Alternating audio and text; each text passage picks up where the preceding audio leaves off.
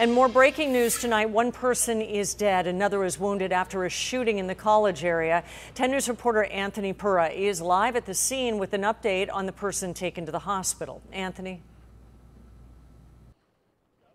Kimberly, that person that was taken to the hospital is undergoing emergency surgery right now. And as you mentioned, there was another person that was found dead on scene. I want to show you what's happening behind me right now. Officers have been going in and out of those apartments there by those palm trees. At this point, officers have yet to go inside the apartment where the victims were found to process the scene.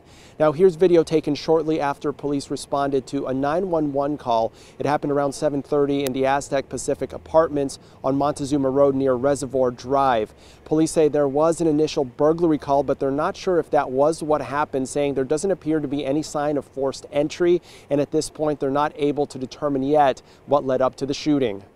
At this point it is very early in the investigation, but what we do know is that there was two black males that were seen jumping a fence and running from the scene shortly after the shots were fired.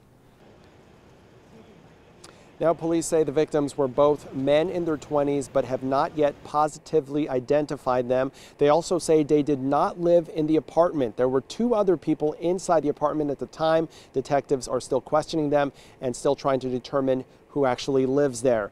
Now we're back out here live, and as you mentioned, as that officer mentioned, there were two people that were seen fleeing the scene. No arrests have been made at this point, and police are expected to stay here on scene for some time as they continue their investigation. We're reporting live tonight. Anthony Pura, 10 News.